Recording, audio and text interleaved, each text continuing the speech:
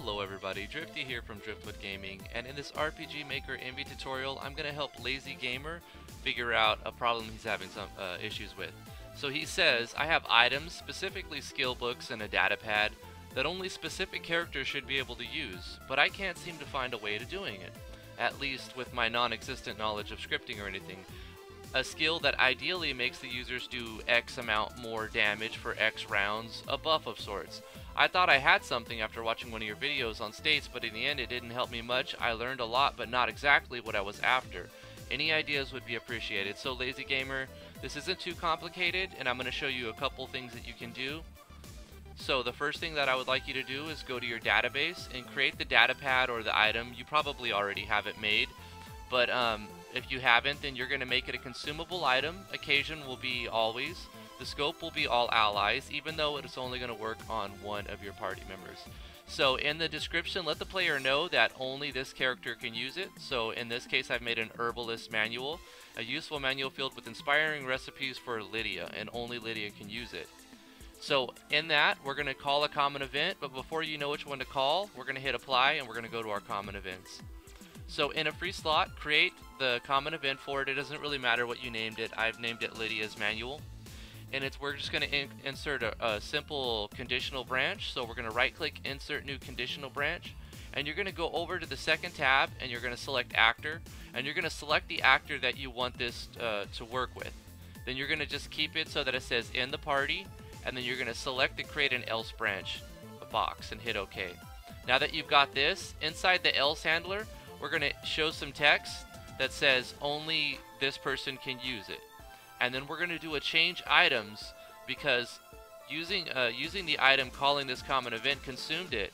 So if the player doesn't have that person in the party and they didn't get any buff, you really don't want them to waste it because that'll just frustrate your players. So what you need to do is do a change items on the else handler, handler and add that item back.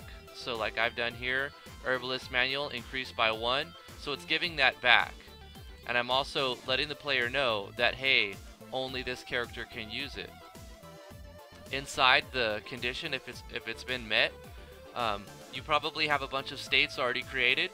If you haven't, create a new state. I've made one called uh, double regeneration or or double effect. Let me find it for you. Double recovery.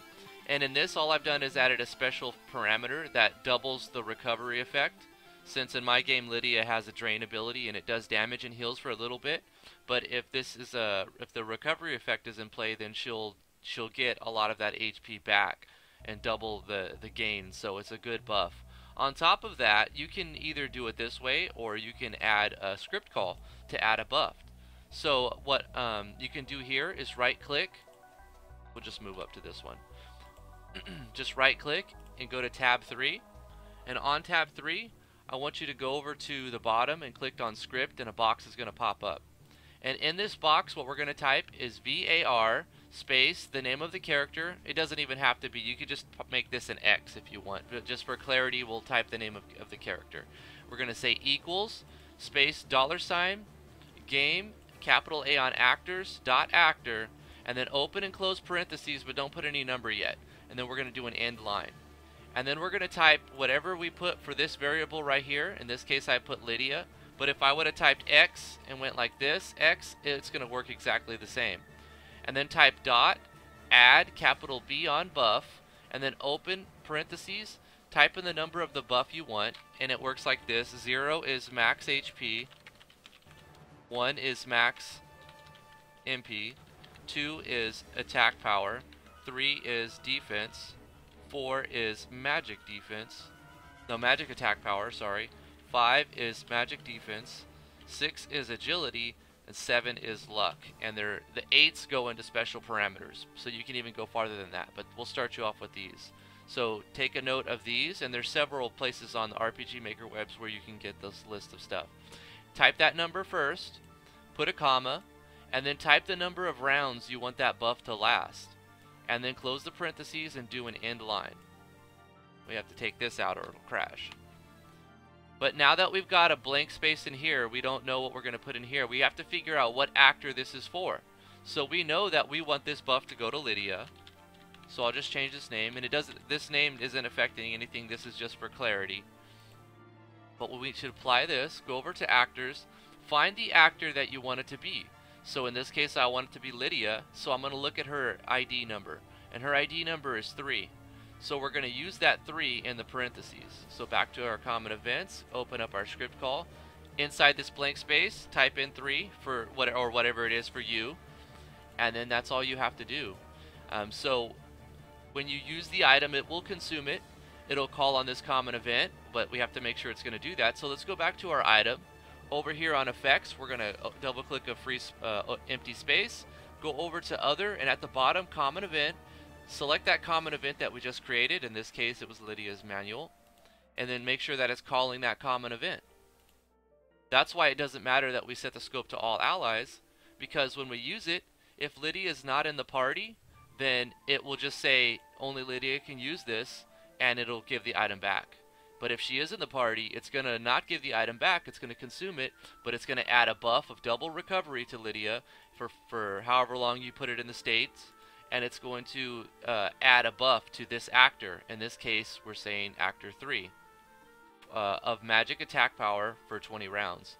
So once we've got that set up, let's award our items. I put them in a chest and I've made an event that'll have Lydia join us so we can see it before and after. Let's save our game. Let's uh, test it out.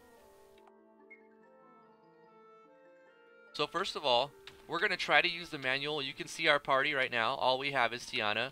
And this isn't Tiana's manual. This is a, a manual that's uh, inspiring for Lydia. So if we try to use it, it lets us use it but only Lydia can actually use this. So what happens is nothing, and it actually takes the item away, but it gives it right back on the else handler.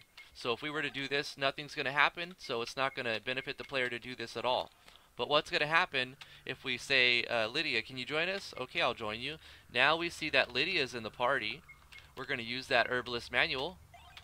And you could even do a show text right here or animation and whatever you want. It's up to your imagination. I'm sure you can be more creative than I can. But if we look at this, the states on Lydia now, she's got the double recovery state, and she's also got 20 round buff of magic attack power. So that's how you'd go about creating uh, a character specific buff, a skill book, data pad, whatever you want to theme it. That's how you do it. Hopefully you enjoyed this uh, tutorial. Lazy Gamer, and if it was informative or you found it helpful, please like, favorite, share, and subscribe. All that good stuff. It really, I really appreciate it, and it helps the channel. You guys are very important to me, and that's why I do this for you guys. So thank you so much for watching, and we will see you in the next tutorial.